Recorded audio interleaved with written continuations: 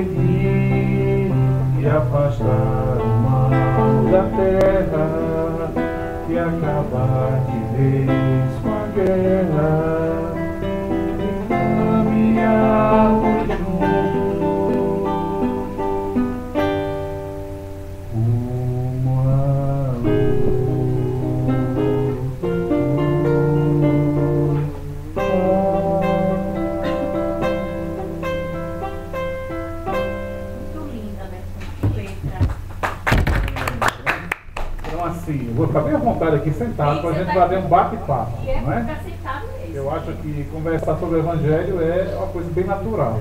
Verdade. A gente não está no intuito aqui de, de, fazer uma palestra propriamente dita, mas de se conversar saído, né? sobre o Evangelho, não. falar um pouco sobre essas questões. Das... E conforme o tema que nos foi é, proposto, assim foi, é, tivemos o convite de escolher o tema e decidimos falar um pouquinho sobre essa questão da fé humana e da fé divina, né? A fé que é um atributo que a gente busca cada dia, que a gente busca encontrar e que tem tanta dificuldade, né, meu Deus, em poder se deparar com a realidade dessa fé que nós, seres humanos, temos e que não sabemos que temos. Muitos deles têm dificuldade em se colocar diante de Deus com a sua fé. E em síntese a gente começa fazendo aqui uma, uma, uma, uma síntese de, uma, de um trabalho que foi publicado eh, na década de 80 pelo professor doutor Eduardo Muniz Rezende, ele que foi presidente da Academia Brasileira de Ciências Mentais, ele é um moçambicano, radicado no Brasil, e que fez a sua tese de doutorado nos Estados Unidos. Durante um período de 10 anos ele, ele ficou por lá que estudou acerca dessa fé. E o seu resumo, o resumo do seu trabalho, ele fez uma publicação de um texto de 10 minutos, que ele sintetiza o que vem a ser. E ele diz que, primeiramente, ele faz a distinção dizendo que fé humana é totalmente diferente da fé divina. Né? Fé humana e fé divina são duas coisas distintas, mas que têm uma correlação muito direta. Ele diz, primeiro, para você ter fé, existem três fatores que são preponderantes. O primeiro é um fator chamado motivacional. Você precisa ter, estar motivado a alguma coisa para poder adquirir essa fé. Segundo, é você traçar metas e, por último, estabelecer objetivos para alcançar né, esse objetivo maior, para estabelecer aquele ponto final, aonde você quer chegar. E aí, é isso mesmo. E ele, ele faz um comparativo, ele diz o seguinte, se nós queremos comprar uma casa, esse é o fator motivacional. Primeiro, eu quero comprar uma casa. Você quer comprar uma casa. Por que você quer comprar uma casa? Não, porque eu vou casar. Eu quero ir para a minha casa. Então já tem um motivo muito bom aí para poder estabelecer o seu referencial aonde você quer chegar. Segundo, eu tenho que, diante disso, dessa proposta, eu estou motivado né, para casar, eu quero agora traçar os planos. Mês a mês eu vou destinar parte do meu salário para fazer uma reserva, para depois dar uma entrada na casa e lá na frente eu poder fazer um financiamento ou comprar à vista. Bom, mas você está determinando que o seu ponto final, o seu objetivo final é o quê? Comprar a casa. Qual é a motivação? Casar. Temos aí dois dos pontos. E o terceiro é o quê? Estabelecer as metas. É o quê? Mensalmente eu tenho que fazer uma reserva, tenho que me programar para gastar menos, deixar de sair para fazer o lanche na rua. Aí eu começo, né? Economizar na gasolina, para poder chegar aquilo lá. Então ele diz que a isso ele atribui como sendo fé humana. É uma fé que todos nós temos e que podemos fazer diante dessas, desses objetivos maiores. E traça agora a questão da fé divina, que ele diz que a fé divina não difere da fé humana. Ele só tem um atributo maior, que é tudo isso que nós objetivamos, só que amparados por quem? Por Deus. E quando ele diz que nós temos essa capacidade associada à nossa razão, isso supera qualquer obstáculo. Porque não é fácil ter fé. Porque a gente, primeiro, a gente não tem disciplina. A fé é uma questão muito da disciplina. Precisamos ter fé é, com esses atributos para poder fazer com que as coisas aconteçam. Porque tem gente que diz, mamãe, eu, eu, eu brinco muito dou risadas com a mamãe, porque mamãe disse que eh, todo mês ela vai ganhar na loteria. E eu digo, a senhora jogou? assim? não. Eu digo, como é que a senhora quer ganhar na loteria? eu tenho fé que eu vou ganhar na loteria. Diferentemente de mim, que jogava, todo, toda semana eu jogava na época na cena, não existia nem mega cena nem nada. E um dado momento, eu no final de semana eu não joguei. No final de semana que eu não eu joguei, deu todos os números. Ah, Na segunda-feira eu passei no hospital com o pescoço duro, com suspeita de meningite, com febre. Três semanas acumulado, porque não era que meu aquele prêmio, meu Deus. Certamente eu não estaria aqui se eu tivesse ganho esse, esse prêmio. Quando minha ex-sogra começou a ler os números, né, esses números tão parecidos com o seu. Porque antigamente saía antes do Fantástico, né? Loteria é, esportiva, é. zebrinha e os números da cena. E quando começou, ela começou a dizer, eu já sabia, ó, jogar toda semana, né? Ainda fiz alguns números aqui, mas eu nunca mais eu joguei. Quando eu comecei a ficar, de um quê? Só tem certeza? Eu disse, tem, olha aqui, saiu aqui, não tem, ó.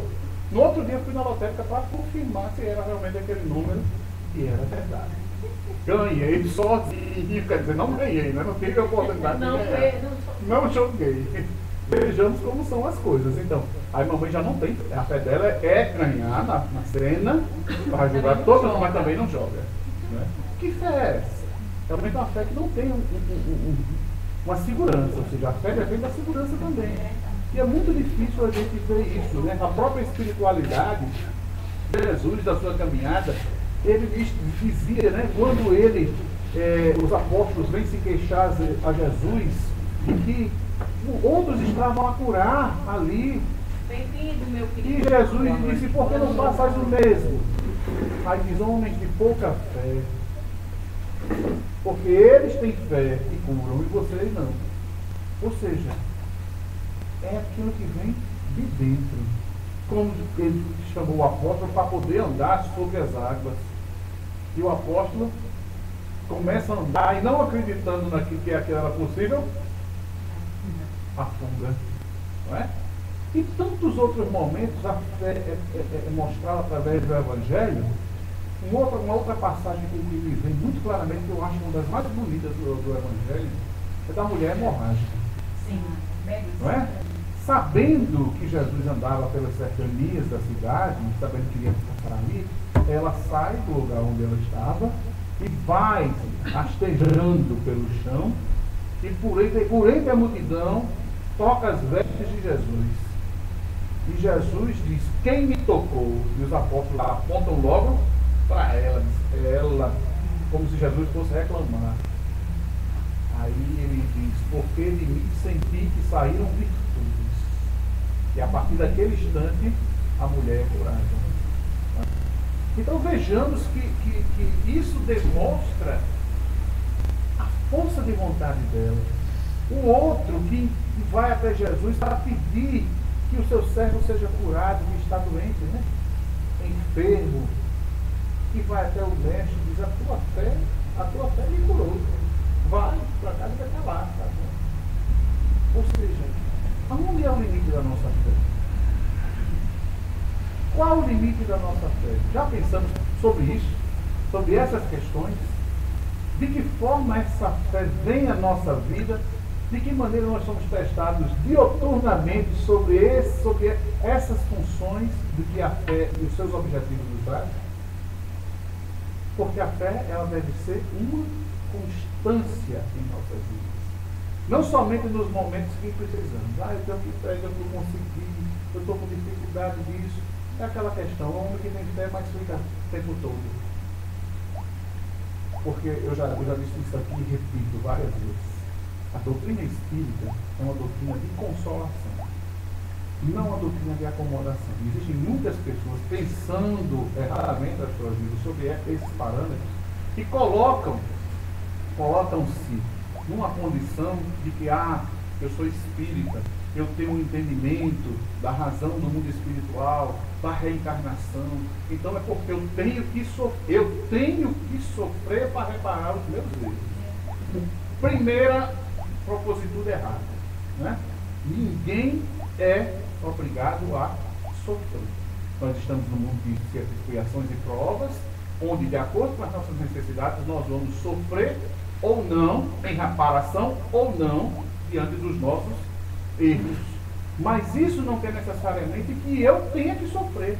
Eu posso ter sido um assassino na encarnação pretérita e nessa encarnação em virtude dado o esquecimento do passado, está envolvido num trabalho maravilhoso, passar por algumas dificuldades, mas em virtude do meu trabalho que eu estou realizando em ajudar o próximo, em, em, sabe, estender a mão mesmo, até sacrificar, se colocar na condição de sacrifício, eu não tenho que reparar daquela forma como eu teria que acho que devo reparar. Aí voltaria um ovo por ovo e o dente por dentro. Isso é uma questão muito que está relacionada ao budismo, porque o budismo, na lei do karma do budismo, ele diz que se você matou alguém, deu, deu lá uma, uma, uma punhalada no coração daquela pessoa, então na outra encarnação você vai vir com um problema de coração. Ou seja, há uma correlação nisso, não é? Não. O nosso entendimento, diante da lei de causa e efeito, é de que nós temos que reparar. Mas a medida dessa reparação vai depender da nossa ação. Ela pode ser, logicamente, nós temos que reparar o erro, vamos reparar. Mas essa reparação vai ser maior ou menor de acordo com a minha proposta de vida. Daquilo que eu estou me propondo a fazer na minha vida. Não necessariamente eu tenho que passar, eu vou ter que reparar aquela morte de alguma forma. Muitas vezes Aí vem, pela lei da reencarnação, uma criança que é colocada lá no meio da rua, é jogada, aí aquele irmão vai ali, acolhe, de repente, pela lei da encarnação, acolhe como filho. Ele foi né, o algoz, ele matou aquela criança, ele abusou daquela criança, ou seja, vários fatores que a gente não vai é, é, é, falar, mas colocando em, miúdos, ou seja, a reparação vem de alguma forma. É um filho que é, tem dificuldade, você está ali ajudando a superar. Porque é muito bonito. Então a, a doutrina espírita não manda você ficar de braços cruzados e dizendo assim, eu tenho que sofrer. Uma vez uma amiga minha me perguntou, né, por que o espírita sofre tanto? E eu fiquei sem entender. Ela disse, é, porque o espírita, todas as pessoas que conhecem espírita tem um negócio de ficar, não, mas eu tenho que sofrer, mas eu tenho que sofrer. Eu digo, engano seu, porque eu, eu não sou desse jeito, não. Eu já passei por um bocado de coisa, né, Wilma? O histórico é pesado, né, Medeiros? Mas nós temos que ter gratidão. Primeiro é a gratidão. Hoje eu fui visitar uma senhora, avó de uma ex-aluna minha, de muitos anos, coincidentemente nós nos reencontramos há uns dois anos, o, o, o avô e pai de criação dela estava no hospital no São Lucas e eu estava também na mesma ala, passávamos ali pelo corredor. E ele desencarnou, vai fazer um ano, e ela está em depressão, 85 anos, né? uma senhora já muito idosa. Né? Então, eu quero que você venha aqui, eu quero um tempinho com fisioterapia, tudo um tempinho, eu fui hoje lá. Batemos um papo gostoso, conversei com ela, mostrei a ela que a gente, e ele, sabendo que ela está sofrendo daquele jeito, ele vai ficar triste. Eu digo, a senhora quer que ele fique triste? Não. Eu digo, então não fica assim, não. Porque no momento certo a senhora vai se reencontrar com ele. Agora, se você der trabalho aqui, ele vai demorar lá em cima para reencontrar com ele. Isso aí, aplicamos um passe dela, fizemos uma oração, né? nos foi sugerido é, a, a fluidoterapia, né? o tratamento, a evangelioterapia, um tratamento para ela. E ela saiu muito dando risada. Disse, mas é do mesmo jeito, a risada é a mesma. Olha, eu fui, é, é, eu estou com 45 anos, eu fui professor da, da, da, da, da filha neta dela com 18 anos de idade. Né? É um bom tempo que a gente tem esse contato. E ela disse, Neto, eu quero que você venha. Eu vou. E sempre que eu passo lá para poder conversar. Porque a gente tem que agir dessa forma, a gente não pode estar se lamentando. A primeira ação de todo cristão que todo cristão deveria ter se chama gratidão. E nós não temos. Nós não temos gratidão. Primeiro por estarmos vivos, termos a vida, termos a saúde debilitada ou não, mas estar, só estar vivo já é meritório. Porque num ambiente em que são aproximadamente 36 milhões de espíritos desencarnados no orbe terreno, e nós estamos dentro dos 6,5 a 7 milhões, já é uma vitória. E eu tenho que fazer dessa oportunidade um congraçamento onde eu vá ali aprender, tirar lições, ser grato a Deus pelo que Ele tem me dado, e a gente é. Não, se eu tenho. Ah, se eu tenho de aluguel, eu moro na casa de aluguel, eu reclamo porque moro de aluguel. E quem não tem onde morar? Se hoje meu feijão não foi com carne de charque, ou com linguiça, ou com calabresa, ou com, com é, paio, ou com não sei o que, eu reclamo porque meu feijão está tá ruim. Se a minha roupa não é uma roupa de grito, eu reclamo porque a roupa não é uma roupa de grito. E assim nós vamos diante de Deus sendo ingratos e injustos. Eu vou dar uma pausazinha porque tem uma música aqui que inclusive nós estamos trabalhando ela para um, um, evento agora em setembro, o nosso grupo Sintonia de Diga-me, Deus, pode. Hilário, eu fui no hospital, quando eu fui no hospital, eu costumo entrar na enfermaria, eu estava um dia, eu hospital.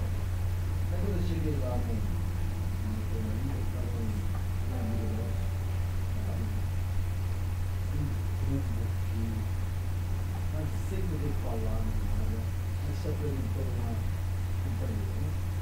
toda dando assistência. Só ela entendia o que ele falava. Ele falou comigo não nada, mas ela me traduzia tudo. Ele, pela dificuldade dele, de estar entubado, né? eu não conseguia falar e, Aí, a companheira traduzia ali. Que eu achei mais assim, chocante. E eu lembrei, é como as pessoas são para as pessoas. Né? Aí ela disse para mim, olha, conhecimento assim, zero. Eu entrei ali, pois é, eu venho, eu, eu há 16 anos com, com esse homem e ele não me colocou na Brasília.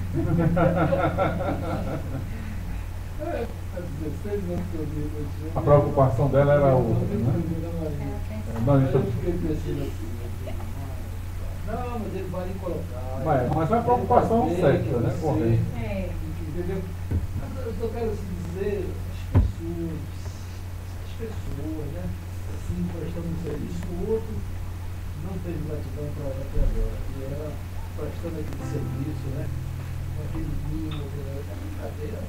Então vamos cantar uma música aqui que se chama Gratidão, é da nossa irmã Tânia, lá do grupo Espírita Oscar Nelson.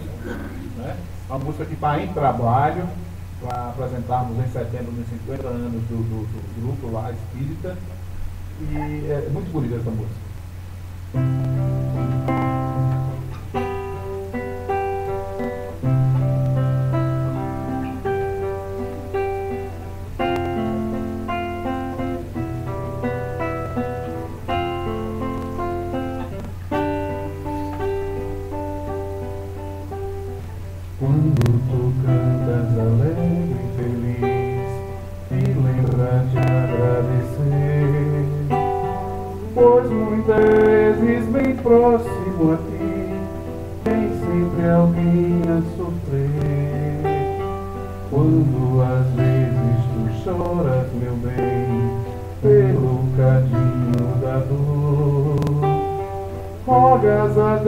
através da oração, corretivo a resignação, pois ele sabe bastante de nós e cura-nos.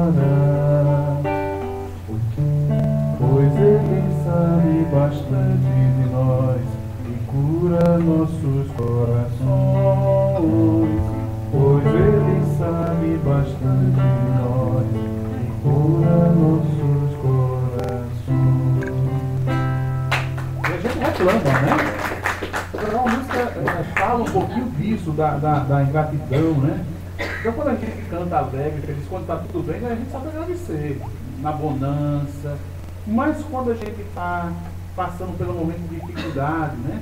Quando muito próximo a gente tem alguém sofrendo, será que a gente tem essa preocupação de poder agradecer também pelo sofrimento, pela dor? Porque o sofrimento e a dor são ferramentas de reajuste espiritual, do qual nós espíritos, quando temos a consciência do que devemos fazer diante dessa dor e desse sofrimento, a dor e o sofrimento deixam de ser dores, sofrimentos e passam a ser aprendizados. E é isso que a gente tem que enxergar de uma maneira bastante clara que a vida nos proporciona essas oportunidades. E a fé está associada exatamente a esse parâmetro de referência, sobre o qual a gente tem que ter se balizar. Gente, não, não, a gente está muito distante daquela fé almejada por Jesus, a fé que Pedro, né, no caminhar teve, a fé que João teve, ou seja, aqueles homens que puderam é, resgatar toda aquela dureza dos corações e amadurecer em torno dessa fé. Eu me lembro muito de um, livro que há uns anos saía muito na internet, mas que, que, que é uma, uma, uma história que é verídica, é uma história verídica que rolou no início, na época do Orkut, que é a história de José. José era um morador de rua, um homem simples, que todos os dias, ao meio-dia, ia diante do altar da igreja matriz, lá se ajoelhava, olhava para Jesus e dizia, Oi Jesus, aqui é o Zé.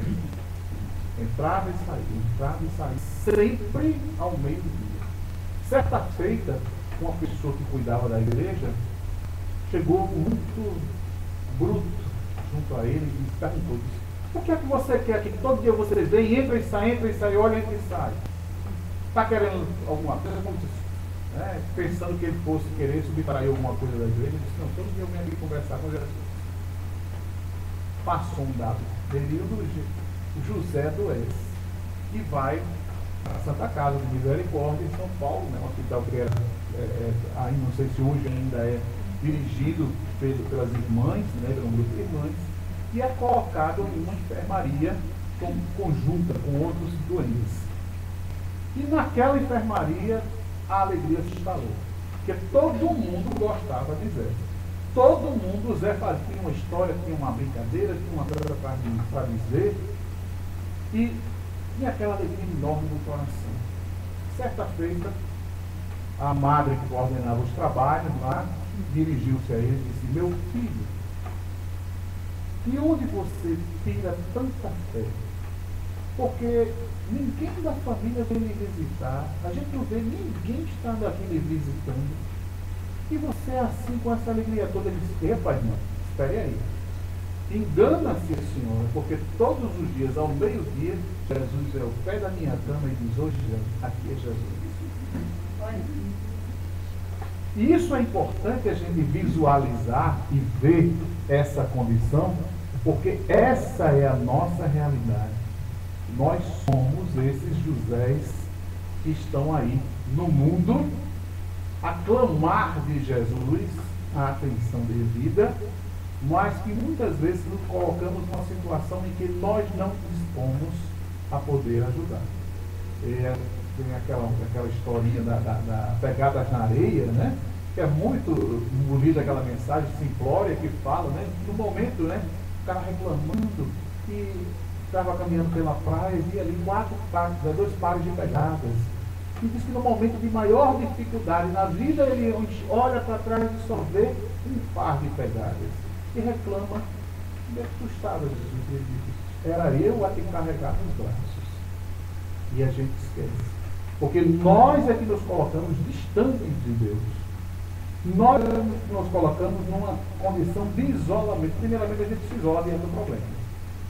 A gente acha que é, a fortaleza do homem é se isolar e não querer preocupar ninguém. Não, mas eu não preciso, porque eu sei o que eu estou passando, é a minha necessidade, Wilma, não preciso incomodar ninguém. Existem determinadas pessoas que são extremamente solícitas em ajudar os outros.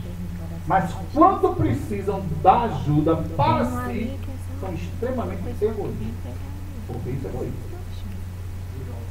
Orgulho.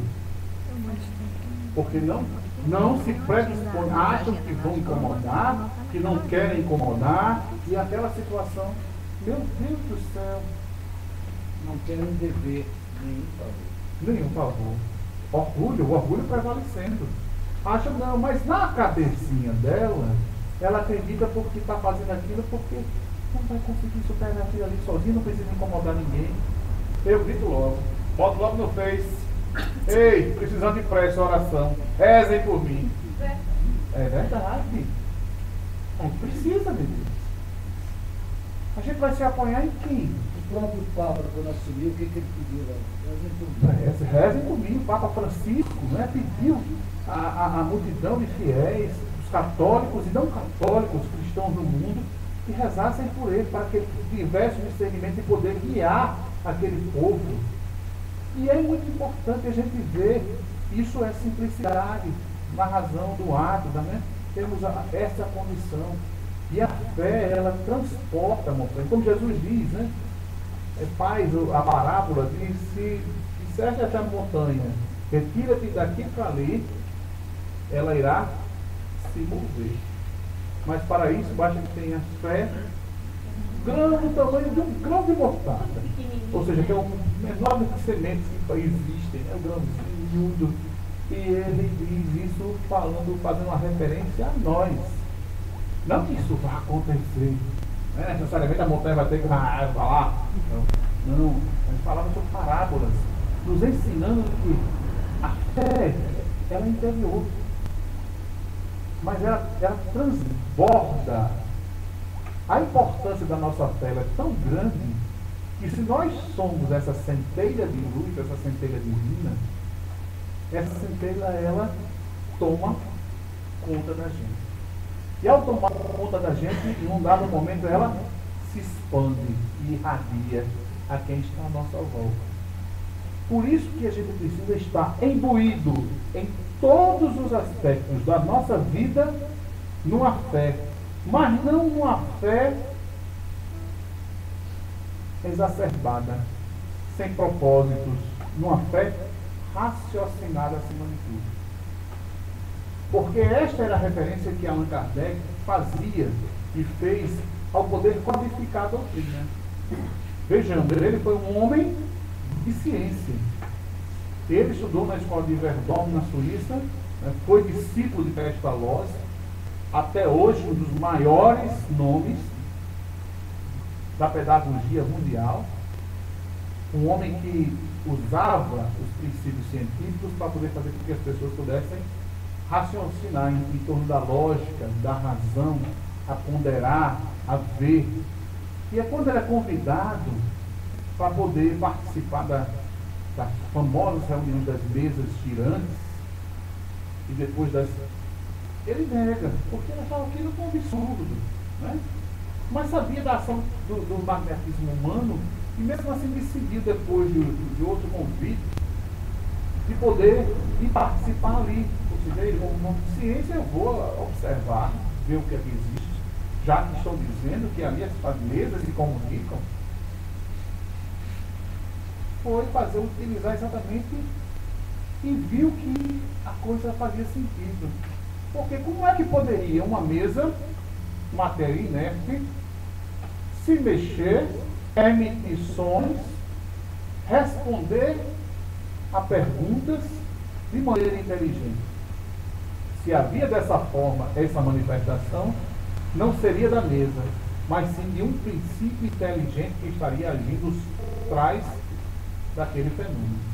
É quando ele começa a compilar as matérias e começam aí então é, existir grupos sérios de estudo de pessoas sérias naquele momento na França e começa isso a se espalhar pelo mundo em torno das mensagens da divina dos Espíritos. Porque é, no período de Moisés, houve a personificação em torno de Moisés por ser um homem que tinha um compromisso de unir o pensamento do povo escravizado no Egito, povo hebreu, em torno do pensamento de um, de um único Deus. Ou seja, sair de uma razão politeísta para uma religião onde houvesse ali a crença na existência de um único Deus. Este foi o mais importante de todos os Moisés. Não foram dez mandamentos. Os dez mandamentos vieram como consequência dessa, desse pensamento. É tanto que o primeiro mandamento e maior é amar a Deus sobre todas as coisas. Amar o vosso Deus sobre todas as coisas, de todo o vosso coração, de toda a vossa alma, de todo o entendimento. Ou seja, a gente tem que ter, passado algum período, em virtude da necessidade, da rigidez da lei daquele povo, que era um povo politeísta, acreditava em vários deuses, as manifestações espíritas aconteciam assim de maneira frívolas, ele proíbe a comunicabilidade dos espíritos. Lá na frente vem a lei do olho por olho, dentro por dentro, para poder controlar o ímpeto daquele povo. Precisava naquele momento daquela rigidez. Passados dois mil anos, vem Jesus e faz o que, gente? Não vim destruir a lei, mas sim ratificá-la. Ou seja, eu vim confirmar tudo que Moisés e os profetas antigos falaram, eu estou confirmando, mas de uma maneira diferente. Tirando a síntese do olho por olho, dentro por dentro, e passando a ser uma lei de amor. A lei de amor deveria prevalecer nos homens. Aí, passado todo o período, em 1857, vem a primeira publicação espírita que é o livro dos Espíritos, não é? que tem um caráter baseado não só no homem, na personificação de um homem, mas de vários espíritos. Olha aí. Por isso a seriedade. E vem confirmar aquilo que Jesus tinha dito. Quando no diálogo com Nicodemos, confronta ver ele perguntando, ele fala, mas necessário vos é nascer de novo, Nicodemos, não só na carne, mas de espírito. Nicodemos, um homem, é um ancião, um doutor da lei, um homem sábio, diz a ele, mas mestre, como pode? Vou eu voltar a ser criança e volurim, entrar dentro do ventre da minha mãe para nascer de novo? Como se assim, pode? Isso não existe. E Jesus disse, Nicodemo, se vos falo das coisas terrenas e não compreendeis, imagine se vos falar das coisas celestiais. Aí repete, necessário vos é nascer de novo, não só da carne, mas da água e do Espírito. Olha, eu vos enviarei o Consolador prometido, aquele que irá confirmar o que vos tenho dito e lhes revelar coisas novas. E isso é o papel do Espiritismo. Trazer ao mundo essa revelação, a crença na existência e sobrevivência do Espírito após a morte, princípio fundamental da doutrina espírita, a reencarnação, o nascer e renascer. Porque isso já é uma crença antiga. Só que de uma maneira diferente. Os egípcios, os gregos, os persas, os indígenas acreditavam que a preservação do corpo, os maias, os astecas, os incas, ao preservar o corpo, num dado momento o corpo iria renascer. O mesmo corpo, o entendimento, e Jesus vem dizer nascemos do pó e ao pó retornaremos. Mas a relação do renascer, ela já era tida como um homem, e o Jesus vem trazer isso de maneira clara. Quando é, torna o mundo espiritual, né, Renan, e vem novamente desceu os céus, subiu os céus, no sétimo, sétimo dia. Né? E, e ele se mostrou ali para as pessoas. É interessante a gente ver toda uma trajetória em torno desse ensinamento. E Jesus sempre nos convocando a termos uma fé raciocinada. Uma fé que deveríamos ter parâmetros de referência. Porque olha, uma vez eu, eu, eu, eu trabalhei, meu primeiro trabalho, meu Deus, foi como supervisor de plataforma marítima, com 18 anos. Eu assumi a supervisão de uma plataforma marítima aqui no Rio Grande do Norte. E embarcava 15 dias, 21 dias, cheguei a passar 45 dias embarcado. É, e era muito interessante, porque lá nós tínhamos só é, o, os amigos, o mar, os livros, a televisão, que era tudo por satélite, né, as antenas parabólicas, captavam por satélite. E eu assisti, eu gostava muito de um programa de um pastor da igreja independente americana, evangélica, que era um pastor de Swagger, extremamente famoso mundo, se tornou muito famoso há muito tempo. E ele dizia uma coisa que eu achei fundamental, eu aprendi muito. Ele dizia que para o cristão ser salvo, ter a salvação, ele não é salvo pela palavra. Você pode dizer que está salvo, aceitar Jesus e dizer. Você pode aceitar Jesus e dizer que está salvo. Mas o que irá salvar o homem não é a palavra, mas sim a ação transformadora do Evangelho na vida do homem. E isso serve para a gente. Porque se nós não nos modificarmos, se nós não tivermos uma conduta condizente com a proposta de renovação do Evangelho em nossas vidas, a coisa não acontece. Nós vamos estar fadados ao fracasso, a tropeçarmos, a cairmos muitas vezes. Apesar de que o erro faz parte do processo de construção. Porque nós estamos numa escola. A terra é uma escola. E como sendo a terra uma escola, ela nos oportuniza a aprender. Quem daqui nasceu sabendo ler e escrever? Se tiver alguém, é um fenômeno. É coisa nova. Né?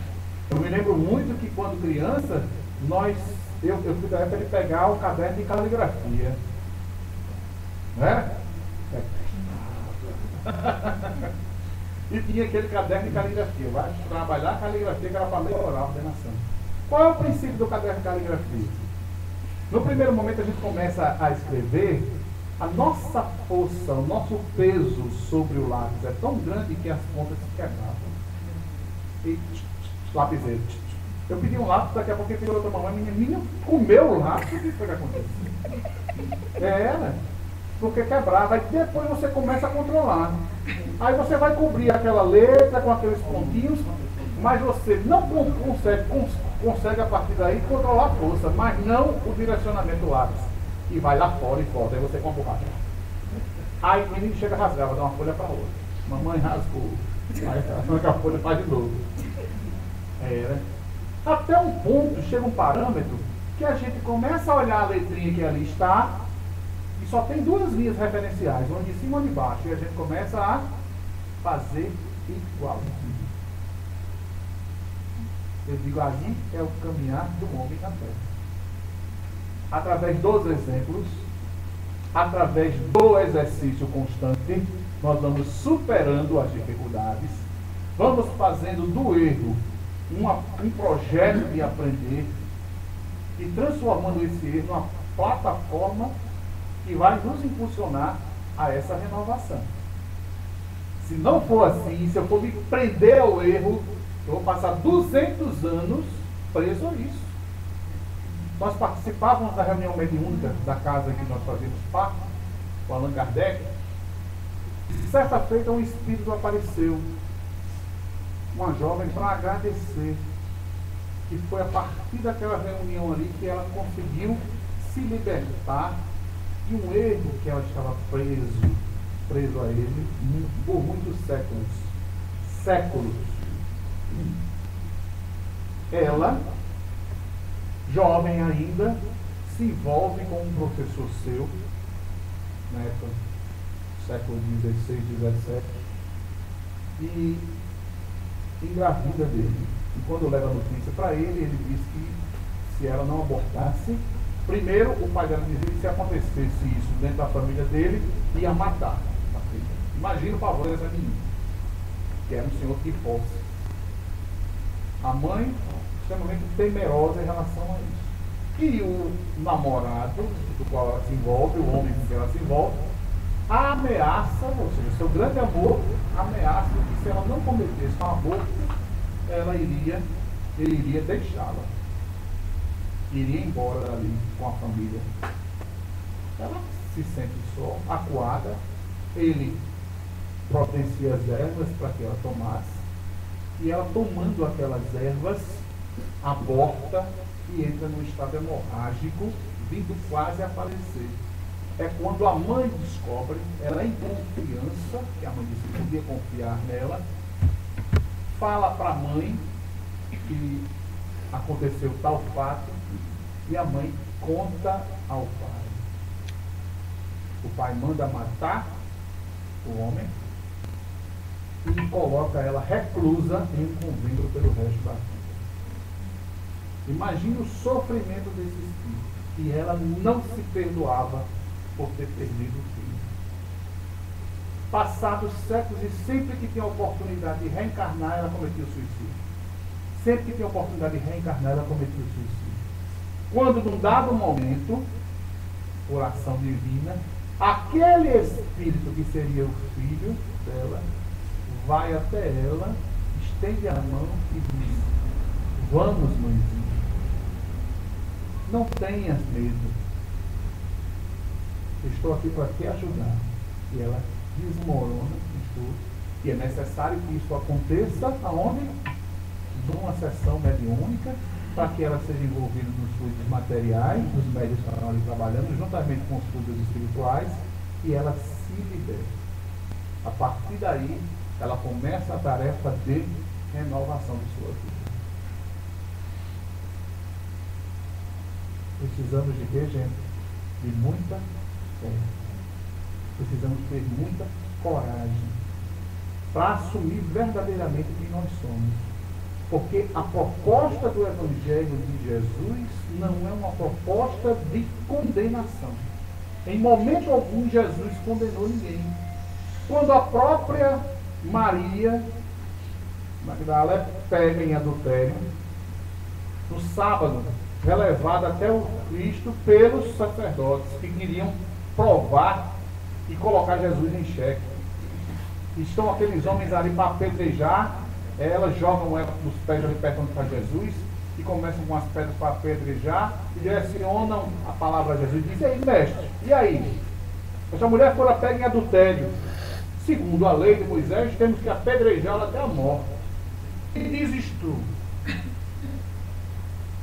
Em narrativa do livro Paulo Estevão, se eu não me engano, há dois mil anos, Paulo Estevam, Jesus se curva diante do chão e começa a escrever no aramaico primitivo os pecados daqueles que ali estavam. E um a um, eles soltam as pedras e se retiram. Jesus, envolto do magnetismo que ali se encontrava, dirige-se àquela mulher e diz: Mulher, aonde estão os teus acusadores? E ela diz: Não mais aqui. E ele diz: Ide e não voltei Jesus jamais apontou e disse: Você foi uma mulher adúltera. Você fez isso, fez aquilo, agora vai ter que responder. Não. Estendeu a mão a ela, absorvendo do peso da culpabilidade da sua ação, e diz a ela: Pai, retoma a tua vida, a tua caminhada, procura não errar novamente. E assim deve ser a nossa conduta, diante dos nossos erros e dos erros daqueles que estão à nossa volta. Que é muito fácil apontar o defeito do outro. A própria psicologia explica através do espelhamento essa ação comum. Eu enxergo em Medeiros o defeito de Medeiros, mas é um defeito que tem nele, mas que é inerte em mim eu tenho medo que aquilo aconteça. Ou muitas vezes já pratiquei aquele erro e vou lá e condeno os Medeiros pelo erro. Que não é de Medeiros, é um erro meu. Mas escreve dentro de Medeiros. Olha aí.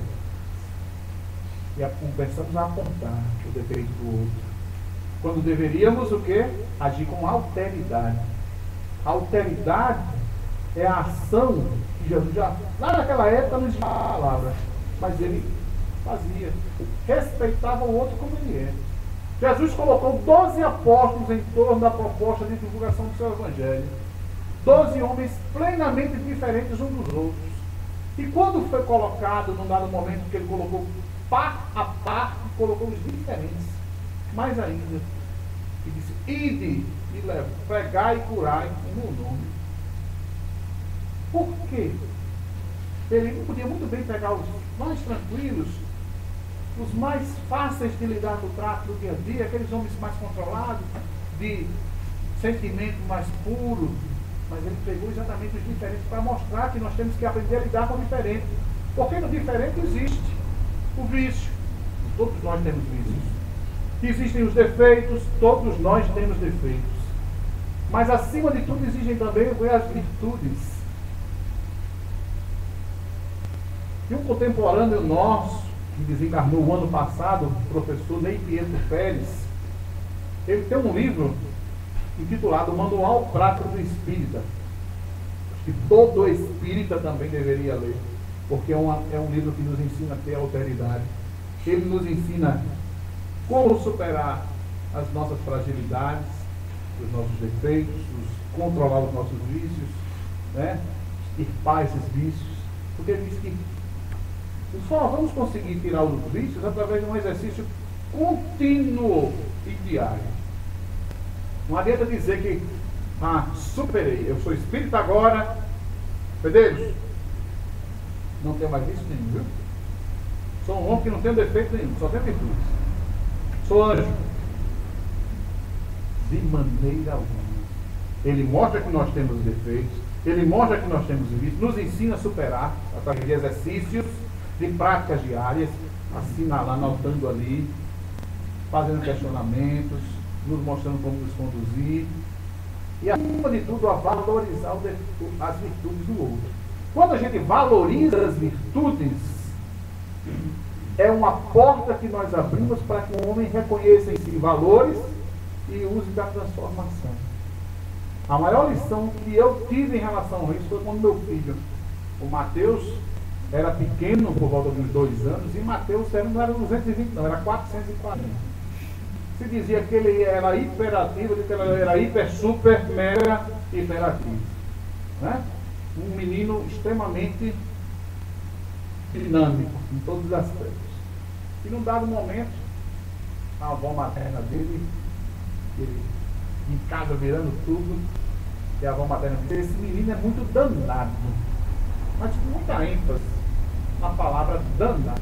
E aquilo me incomodou. Eu não gostei, fiquei com aquilo guardado. E fui conversar com uma amiga minha, que era pedagoga, psicopedagoga, uma, autora excelente, a professora Salizete Freire, e recentemente foi até indicada a um prêmio da literatura infantil Brasil pelos seus livros. Isso ali me deu uma das maiores lições que eu tive na criação do filho. Ela disse, primeiro, se você não gostou da forma como ela falou, exponha seus sentimentos. Diga, olha, então, não gostei disso. A forma como a senhora falou. Isso é sermos assertivos. A gente acha que se a gente falar alguma coisa, a gente vai não brigar, vai fazer isso, só vai se chatear. Bom, se a pessoa se chatear, o problema é dela. Não é, não é nosso. Nossa, nossa ação é poder falar a verdade, sermos autênticos. Temos autenticidade das nossas ações. Se você não gostou, diga eu não gostei. Aí, nós vamos entrar no entendimento ou não acerca disso. Se o irmão não gosta de alguma coisa que eu faço, o irmão tem que chegar para Netã e dizer, Netã, filho, pense um pouquinho, talvez você tenha agido dessa forma. Aí eu falo para o irmão, Wilma, é, realmente, se foi verdade que o irmão me disse, eu vou dizer, realmente, Wilma, você tem razão. Me desculpe, vou procurar não agir mais dessa forma. E se o Wilma estiver com o entendimento equivocado também, que ela pode estar com o entendimento eu tenho que chegar para o Wilma e dizer, olha, Wilma, não foi assim, eu pensei dessa forma, assim, assim, assim. Foi isso que eu quis fazer. Não isso que você está enxergando. Aí nós vamos nos entender. Mas se o Wilma ficar calada e eu ficar sem saber o que o Wilma diz, eu vou saber no que o Wilma está pensando? Se ela está chateada comigo, ela fica por ali e fica indiferente. Eu digo, meu Deus, sabe por que o Wilma está daquele jeito comigo? Então é assertividade. Aí, segunda coisa que ela diz, não deixem rotular o seu filho. E eu digo, não rotula ninguém. Porque quando, se você deixar rotular seu filho, se ele ficar com rótulo de danado, ele vai dizer, ah, já sou danado mesmo. Olha aí.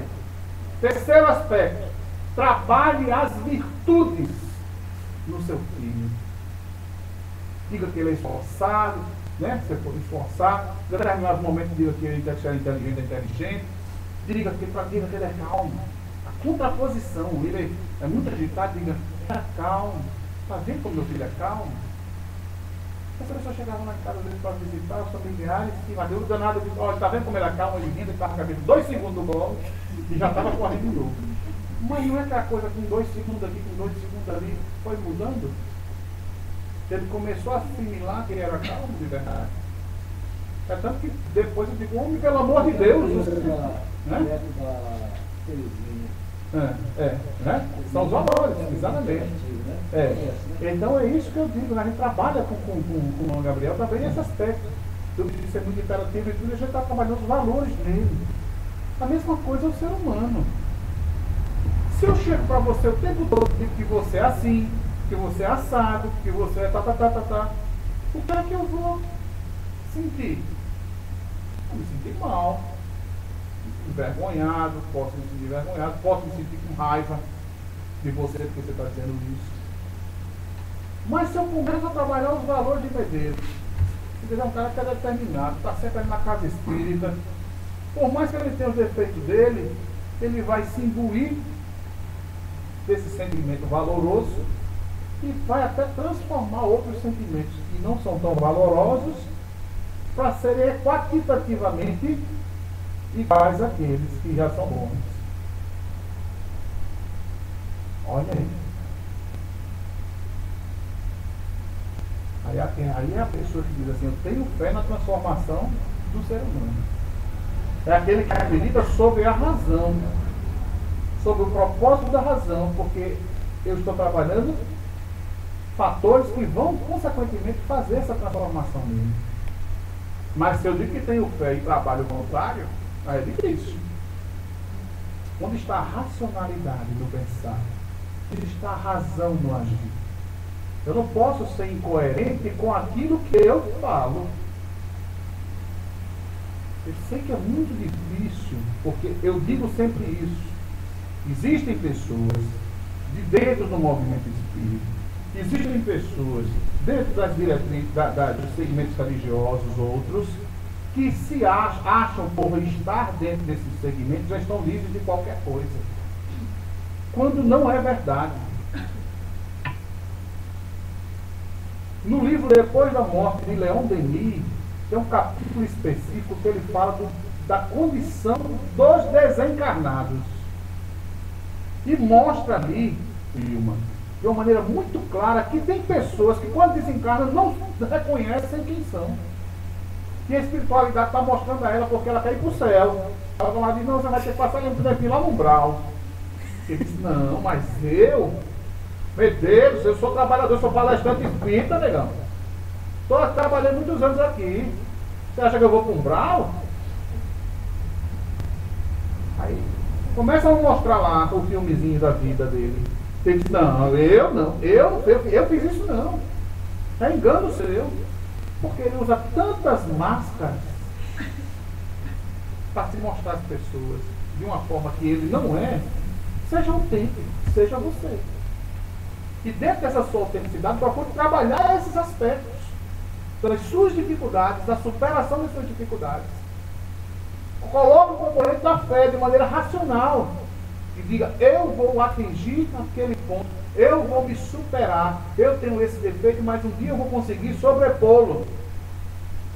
Trabalhando arduamente, não é só infringindo a fala e dizendo, porque é difícil. Porque, como eu falava, nós temos parâmetros espirituais e parâmetros materiais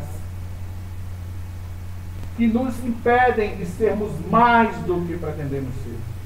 Por mais que eu queira ser santo, dentro da condição de encarnado, não vou conseguir ser. Aqui não. Preciso me melhorar. Somente aqueles espíritos que são missionários e estão encarnados na Terra têm essa condição de serem melhores do que nós somos. Tirando eles, todos os outros estão na mesma condição. Ninguém é melhor que ninguém. Eu posso ser melhor em determinados aspectos do que você. Você é melhor em determinados aspectos para mim. O que pode ser defeito em mim não é defeito em você. E a vida nos coloca juntos exatamente para que possamos aprender uns com os outros. Aí tem uma situação que eu digo sempre. Aí nós vamos aprender observando. Porque o que eu não almejo, às vezes, um defeito de um determinado irmão, que eu digo, Deus me livre, quero jamais chegar nessa situação. Eu tenho que me esforçar para poder superar e não passar pelo mesmo defeito. Quando isso acontece, nós começamos a nos libertar dessas amarras que estão aí.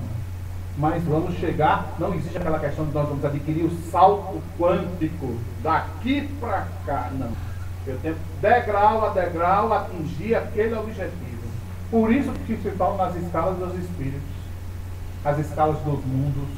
Por isso que já estamos ali vindos de um mundo primitivo, estamos no mundo de re, re, é, expiação e de provas, migrando para um mundo de regeneração.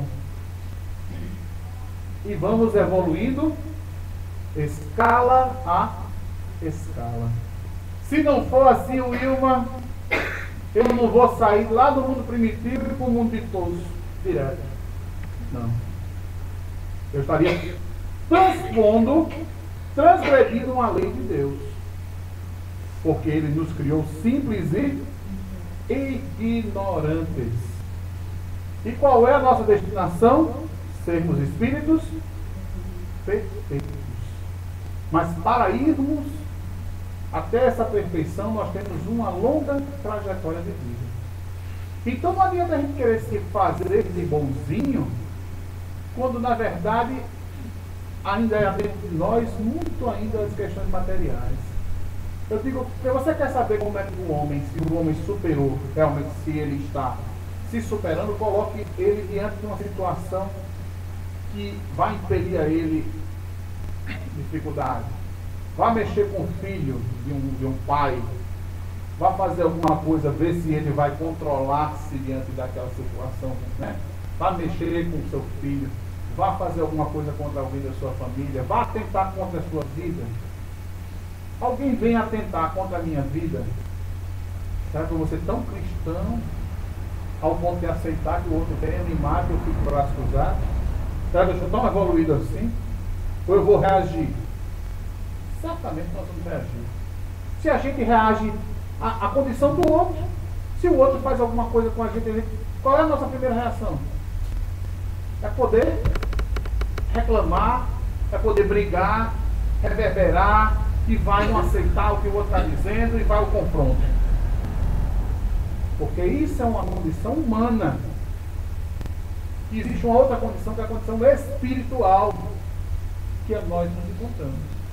Se libertos do corpo físico, a gente tem as dificuldades inerentes à nossa condição espiritual.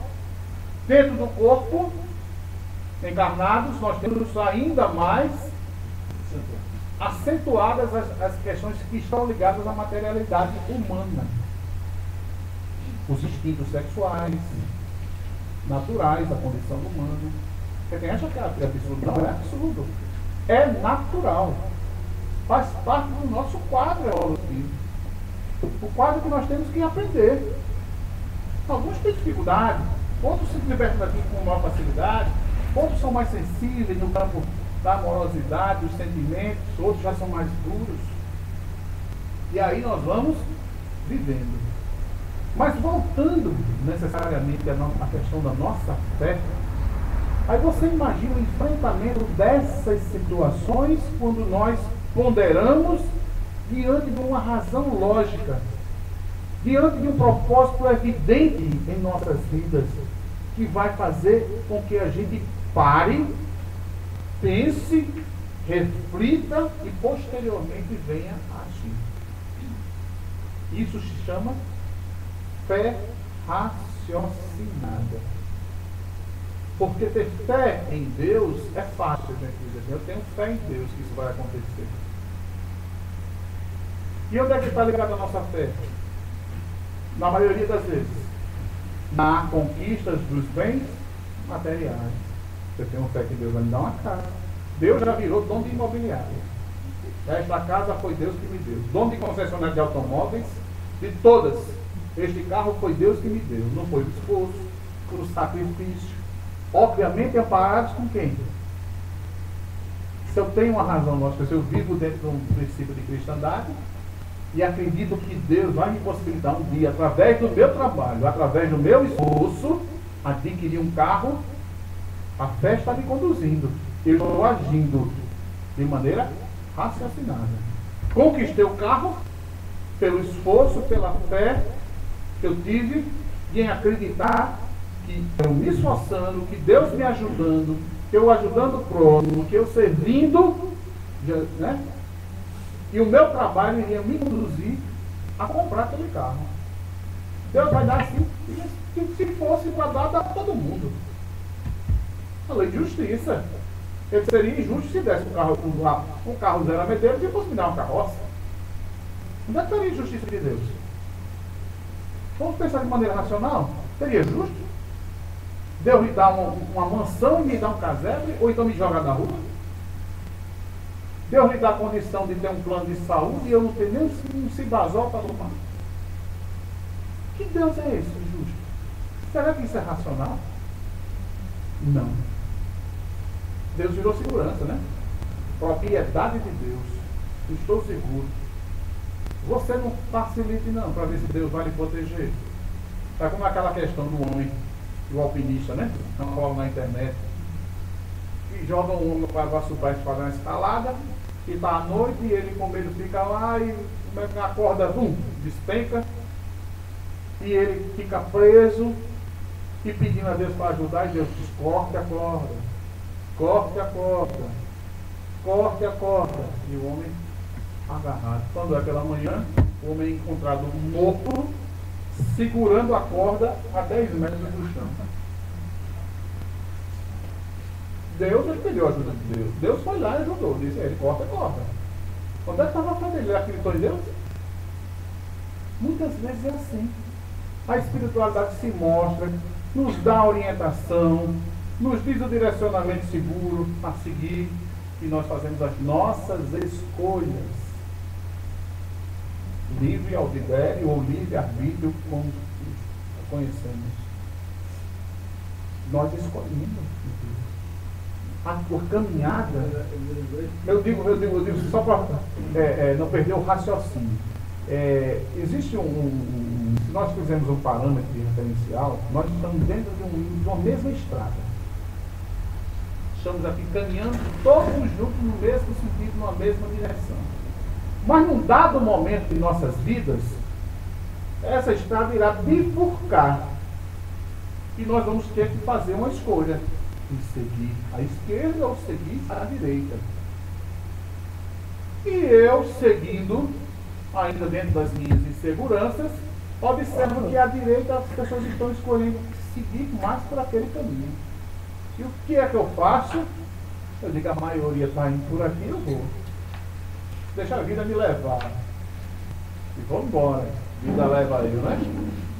Quando chego lá no fim do caminho, eu vejo que a estrada não era aquela. Que a escolha que eu fiz era errada.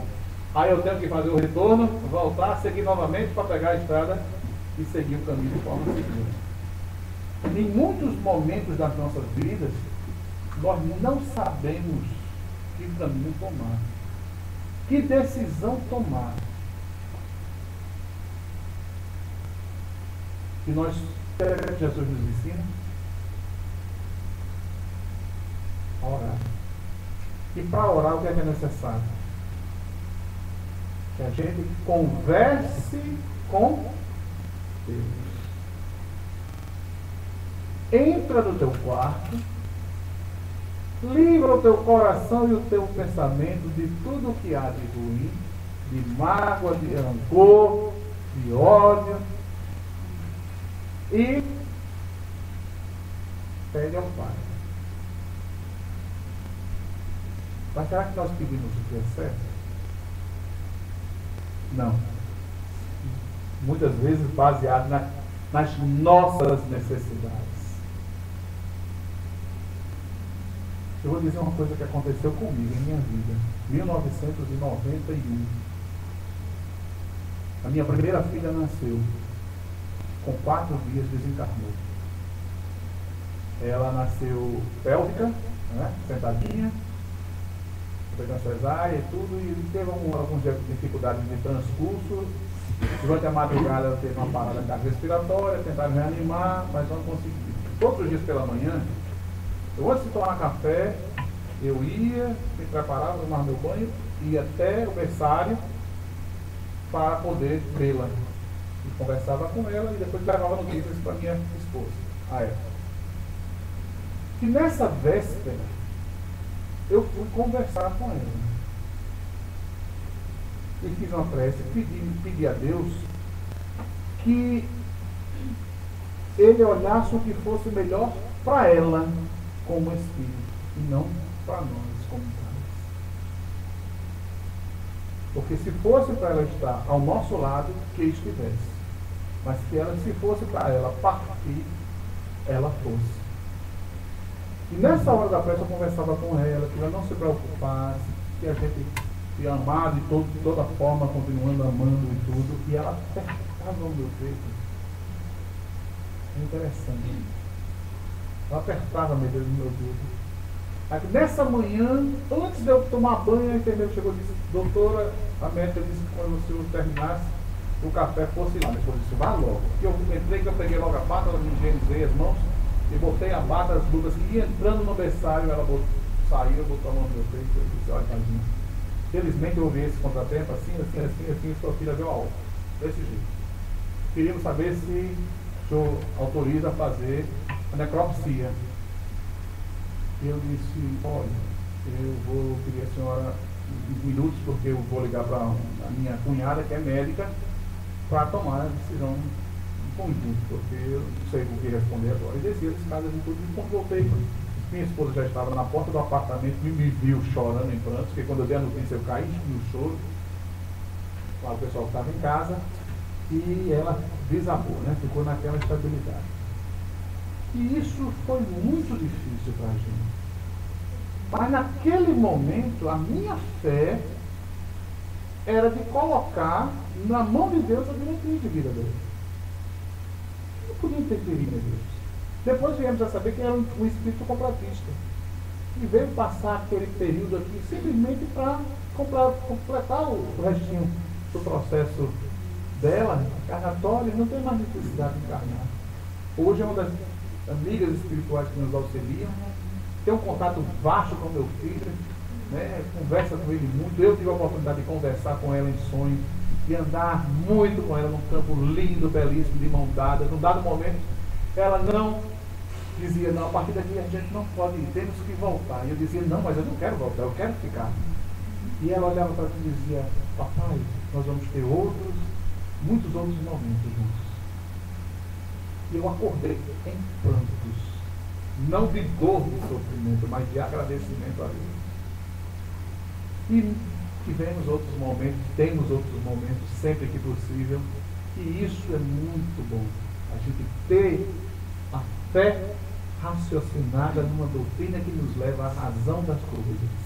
E isso a doutrina espírita vem nos confortar, Lima, e meus amigos, vem nos dar é, é, é, esse embasamento de nós podermos ter um direcionamento seguro de nossas vidas, de maneira clara e objetiva. E eu tenho certeza que vocês que estão em casa, estão assistindo, né, pensem muito bem acerca dessa fé. Essa fé que não é uma fé qualquer, não é uma fé por acreditar. Eu questionava muito quando era menino, que eu fui criado dentro do catolicismo, né, fui, fui coroinha de igreja ali na, na, no, na, no convento Santo Antônio, no franciscano, que eu morei 12 anos naquela rua, e aprendi muito com um frei chamado Frei Egídio, um italiano, que morou lá no convento durante muitos anos, foi, foi um coordenador do evento, do convento, e o Frei Egídio conversava muito com a gente, mas é, em determinados momentos ele, ele, ele, ficava sem saber responder o que eu perguntava, porque eu sempre tive mediunidade e via os espíritos, e uma vez eu vi um espírito de um frei subindo, um velhinho subindo a escada, lá em direção lá o, o a, os dormitórios dos, dos, padres, e eu perguntei que, que é aquele, aquele freio é novo, aquele que chama um freio novo, o senhor que está assim velhinho, não sei o que, disse, não, menino, não existe freio nenhum assim não, não sei o que, aqui não existe mais não, só tem os que já estavam mesmo. Né? E uma certa feita me pregaram, mandaram lá na sacristia pegar é, é, o, o saco de hóstia lá em cima, onde vá lá, em cima do escritório, o freio está lá, mande pegar lá. Quando eu vou passando, tem os retratos dos freios que estavam, né, que já faziam iam desencarnar e faziam parte, passavam por lá. E eu olhei para ele e disse, olha, foi esse aqui. e ele, não, menino, não existe esse velho, há muitos anos já morreu, como é que você pode ter visto ele aqui agora? Né? Ou seja, não sabiam explicar.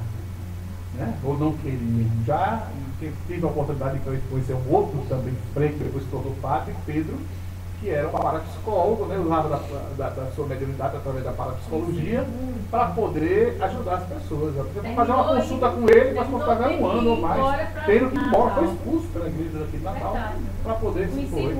Eu, eu tive com ele depois, ele foi, foi para em Caruaru e depois foi para Taquaritinga no norte, é onde eu estive lá visitando, né? Como é a coisa mais linda do mundo, é uma pessoa maravilhosa, né? Então, assim, é, a doutrina nos traz esse esclarecimento à luz da razão. E é essa fé que nós devemos ter. A fé raciocinada à luz da razão. Não a fé que a gente simplesmente vem do nada. Aquela coisa sem propósito, né? De acreditar, mas não, mas eu acredito. Eu acredito o quê? Eu acredito como? Né? Nós temos que ter esse referencial e esses parâmetros na nossa vida. Então, para encerrar, porque esse tempo já está bem pertinho da gente, eu vou cantar uma música que fala um pouquinho dessa questão da fé. Tá certo? E depois eu canto uma que vocês vão me ajudar a cantar. Essa primeira é uma música antiga de Erasmo Carlos que Gonzaguinha é, cantou muito.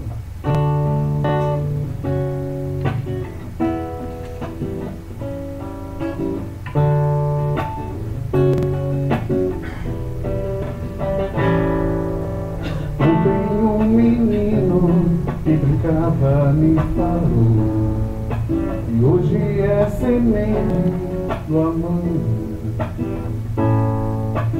para não ter medo que esse tempo vai passar. Não se desespere, nem pare de sonhar. Fé na vida, fé no homem, fé no que virá. Nós podemos tudo, nós podemos mais. Vamos lá fazer o que será.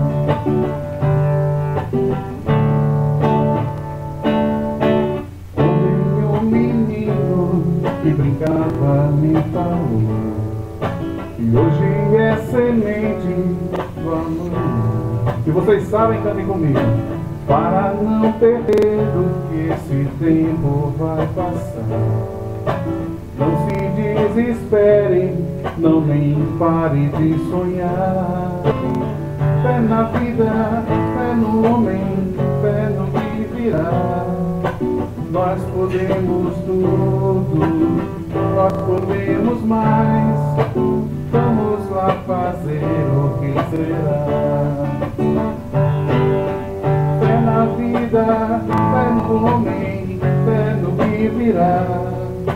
Nós podemos, nós podemos mais.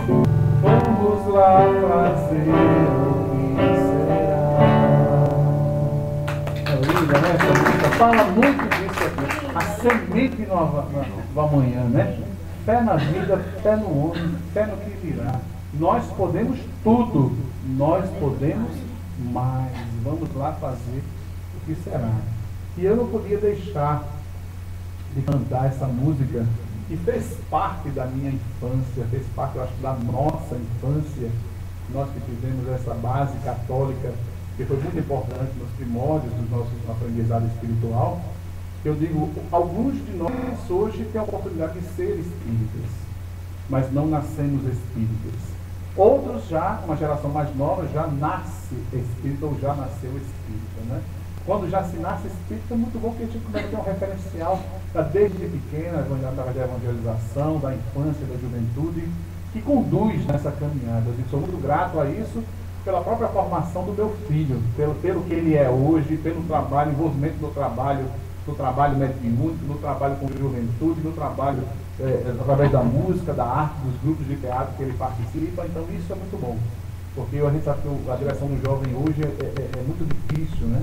Se depara com a realidade das drogas, do mundo do álcool, dos vícios, e isso é muito difícil, viu, Mineiro? Depois que se entra, para sair, a gente tem que ter muita fé, trabalhar muito para poder conquistar primeiro a pessoa que está passando pela dificuldade e depois não se deixar entregar, né? como ser humano a observar essas dificuldades. Então essa música é linda, do Padre Zezinho, que eu acho que todo mundo conhece.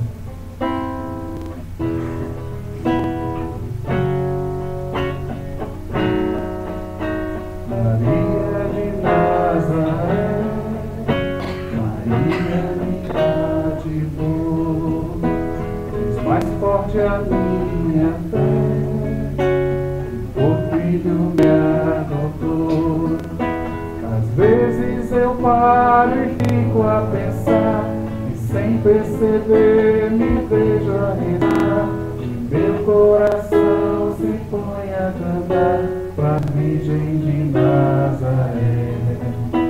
Menina que Deus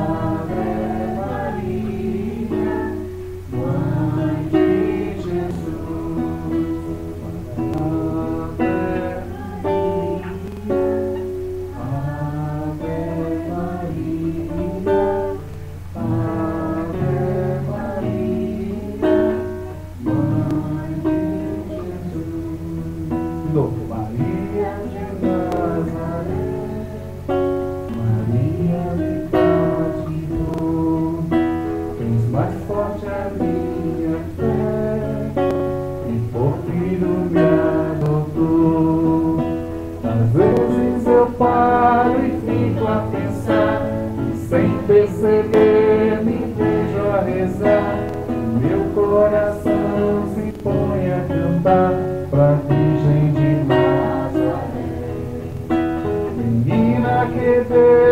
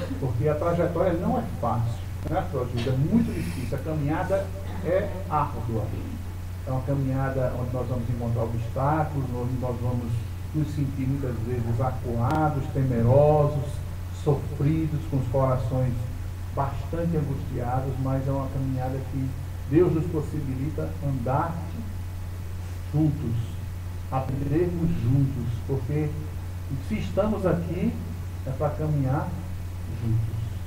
Eu queria pedir para você, Camão, Tá agora. Tem como. Né,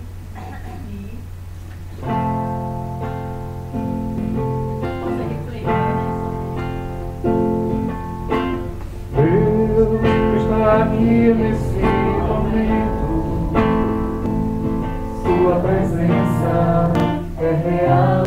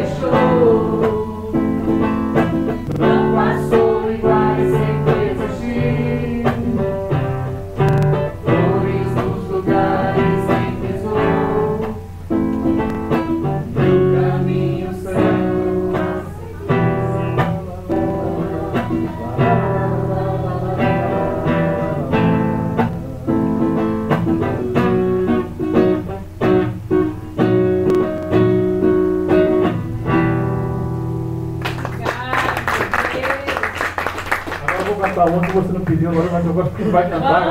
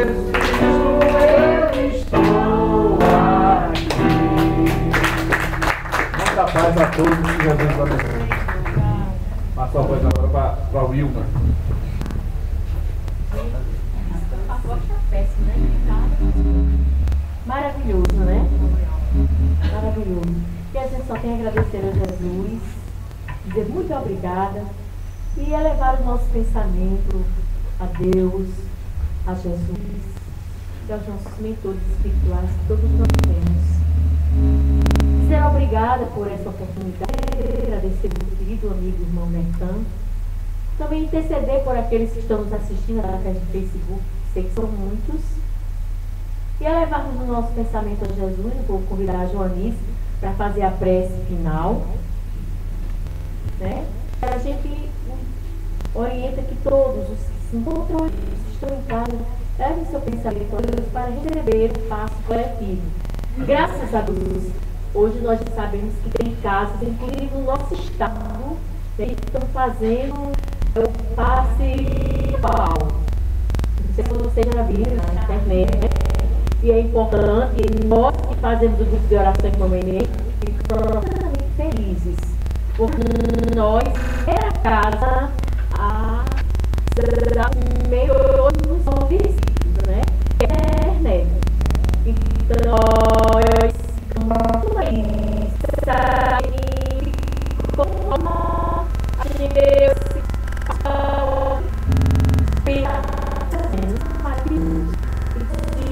nos assista, também o é Eu faço querida amiga Joanise, parece não sei, feliz, no pensamento da